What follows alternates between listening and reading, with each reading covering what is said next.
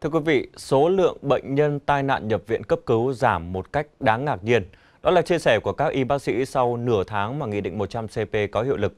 Thực tế, theo như ghi nhận của phóng viên VTC, từ các bệnh viện tuyến tỉnh cho đến các huyện, hiện tại rất khó để có thể tìm được những bệnh nhân bị tai nạn trong sinh hoạt, lao động khi tham gia giao thông hay là gây gổ thương tích do có sử dụng rượu bia. Bệnh viện 115 là đơn vị tiếp nhận phần lớn các ca cấp cứu trên địa bàn tỉnh Nghệ An, đặc biệt là các trường hợp liên quan đến tai nạn các loại.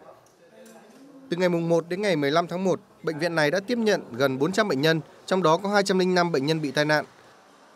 Nếu như trước đây, hơn 60% các bệnh nhân tai nạn đều liên quan đến sử dụng rượu bia, thì 15 ngày qua chỉ có 14 bệnh nhân, chiếm chưa đến 10%.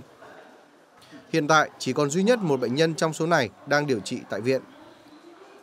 Như trước đây thì mỗi đêm vào thì à, khoảng à, cấp cứu khoảng 30 đến 50 ca thì nó khoảng 60% trong đó là có liên quan đến rượu bia. Nhưng bây giờ một đêm chỉ khoảng 1 đến 2 ca. À, như thế thôi. Thực tế là em cũng sử dụng ít thôi. Nhưng mà chắc là mệt quá. Sức khỏe cũng đảm bảo đấy là Tại Bệnh viện Chấn thương chỉnh hình Nghệ An, trong 15 ngày vừa qua, bệnh viện này đã tiếp nhận 32 bệnh nhân tai nạn giao thông đến khám và cấp cứu. Trong số này chỉ có 3 trường hợp qua xét nghiệm có nồng độ cồn trong máu. Theo các bác sĩ, sử dụng rượu bia hạn chế không chỉ giảm các trường hợp tai nạn giao thông mà cũng làm giảm hẳn các ca tai nạn trong sinh hoạt, lao động. Không sử dụng rượu bia nếu không may gặp tai nạn thì mức độ cũng ít nghiêm trọng hơn